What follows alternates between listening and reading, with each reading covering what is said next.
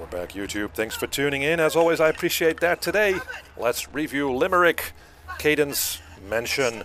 And this is a first-person puzzle horror game. And it features a puppet that's spooking you around this mansion full of puzzles. And that sounds very appealing to me. I am a great fan of games like Seventh Guest and Eleventh Hour. Again, a mansion with puzzles and this overlord trying to distract you, trying to scare you, that sort of stuff. Now let's talk about this game then. Well, the story. It is here, but it is told through a huge amount of notes that are literally plastered all over the place. And that stuff is just not immersive. I'm okay with some notes here and there, but most of the time, just don't tell me things. Just show me the things that happen in the world. Now, the graphics, I have to say, are all right.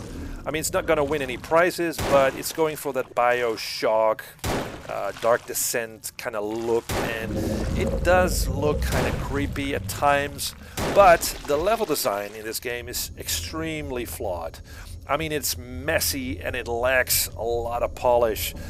Just a small example, we have this seal on the floor that is clipping into the walls. I mean, all the seals are clipping into the walls.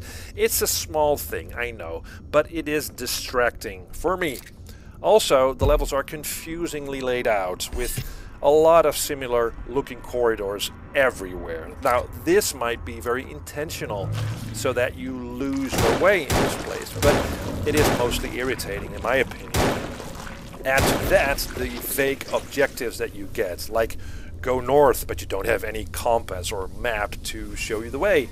Or somewhere a door opens, so you ask yourself, okay, where is that? Where do I need to go? Also, along the way, there are some pretty boring enemies you will encounter, and some can be killed with your pistol that you get, or, or your magic something spell that you also get, but others you can kill, but you don't know.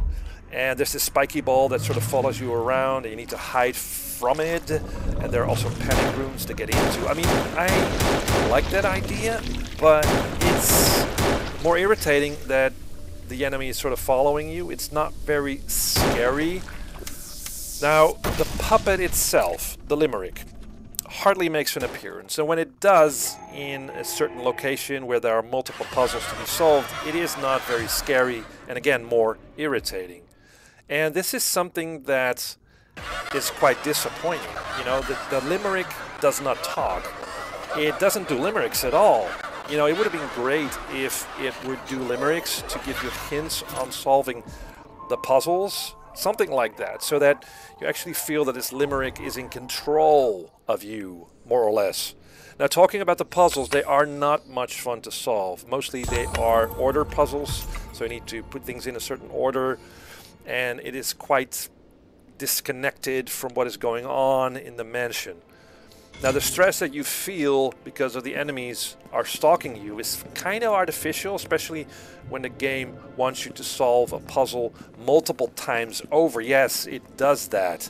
And that, again, makes the whole thing feel irritating.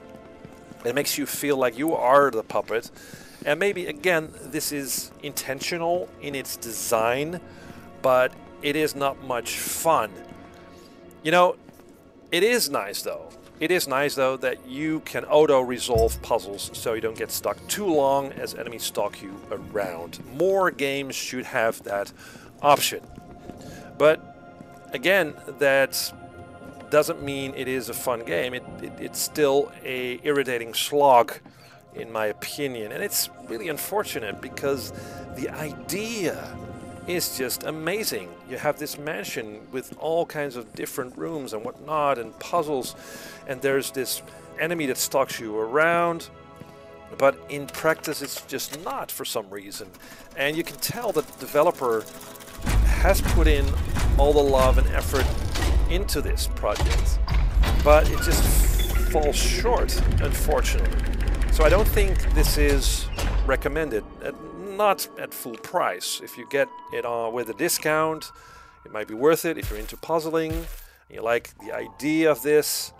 But I guess, you know, there are better options than this game, unfortunately. Anyway, these are my thoughts on Limerick. Let me know what you think and see you in the next video.